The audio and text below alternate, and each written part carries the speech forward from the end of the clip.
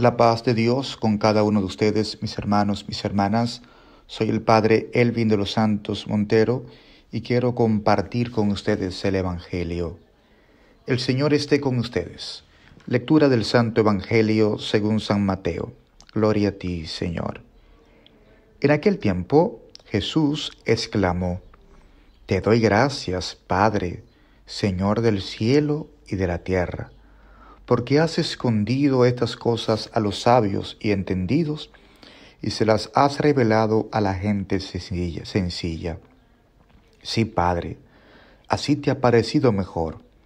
Todo me lo ha entregado mi Padre y nadie conoce al Hijo sino el Padre, y nadie conoce al Padre sino el Hijo, y aquel a quien el Hijo se lo quiera revelar. Palabra del Señor. Gloria a ti, Señor Jesús. Mis hermanos, mis hermanas, seguimos con el lema oración y precaución. Hoy la palabra de Dios dice que el Señor ha revelado su misterio a los sencillos, como el tema fuerte de reflexión del día de hoy. Pero quiero tocar así algunos puntos. Primero, hoy la palabra nos revela que Dios es Padre del cielo y de la tierra. Dios es Padre del cielo y de la tierra. Si Dios es Padre que de Señor del cielo y de la tierra, Dios tiene control de todo. No hay nada que se escape al poder de Dios, porque Él es Padre, Él es Señor del cielo y de la tierra. Es importante que Él sea el Padre de todo lo invisible y lo visible, del cielo y de la tierra. Pero es importante que nosotros podamos acogerlo en nuestra vida como nuestro papá. ¿De verdad tenemos a Dios como nuestro Padre? ¿Nos comportamos como hijos de Dios?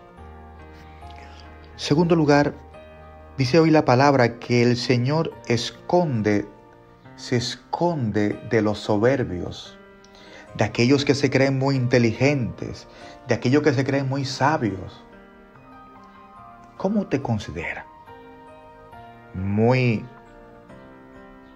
entendido o alguien sencillo? Sin embargo, dice la palabra que Él le revela, se revela a los sencillos.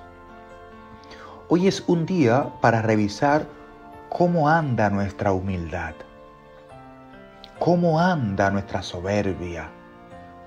¿Nos creemos que lo sabemos todo o siempre entendemos que tenemos algo que aprender de alguien e incluso hasta de un niño. E incluso de aquel campesino que no sabe hablar mucho pero tiene la sabiduría de la vida. Hay algo que aprender, hay algo que podemos aprender de Dios, de ese hermano, de esa hermana. En mi caso particular, cuántas enseñanzas he aprendido de la vida, de las personas sencillas, e incluso en algunos campos donde he estado, personas que no son muy doctos, no son, muy, no son preparados a nivel intelectual, de hecho ni siquiera saben leer. Pero cuánta sabiduría. Nunca se me olvida que la enseñanza con la que mejor he explicado el tema de la Trinidad lo aprendí de una gente sencilla, no ni siquiera del profesor, sino de una persona sencilla.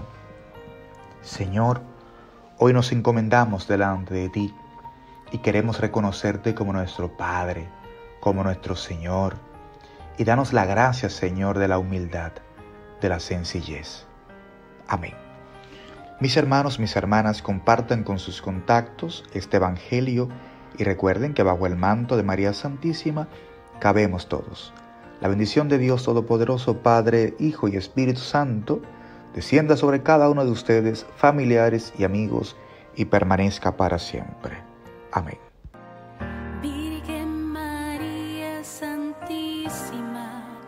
pensada desde la eternidad, fuiste la vida misma, de amor y de humildad, eres el corazón de tu hijo, que cuidaste sin dudar, hoy eres mi madre y bajo tu manto quiero estar.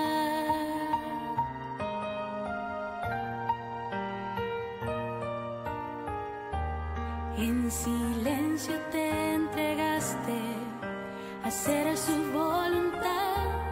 Oh Señora y Madre mía, de ti me quiero abrazar.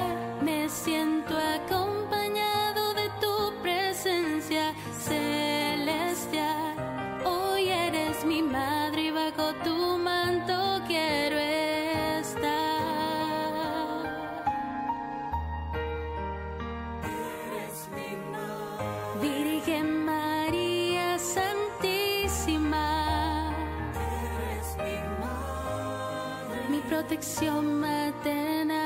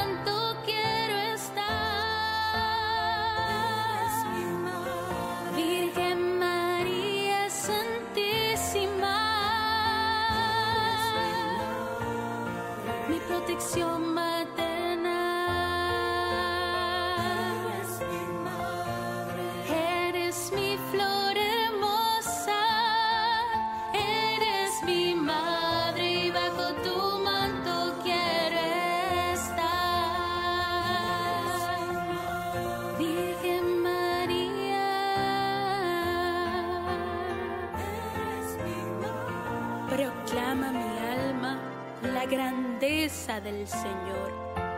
Se alegra mi espíritu en Dios mi Salvador.